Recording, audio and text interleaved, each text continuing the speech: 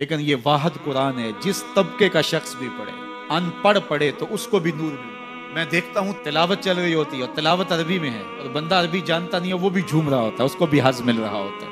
ये किताब हर तबका ज़िंदगी को रोशनी देती है। ये कयामत तक आने वाली इंसानियत के लिए रुश्द हिदायत का सहीफा है। इस किताब से जुड़ जाने से बुलंदियाँ नसीब होती हैं। जिस रात को ये किताब उतरे वो रात तो लैलतुल कदर कहलाए और जो शख्स इस किताब से वाबस्ता हो जाए और इस किताब को अपनी रूहों में समोले वो जी कदर क्यों नहीं होगा? वो इज़्ज़त का मालिक क्यों नहीं होगा?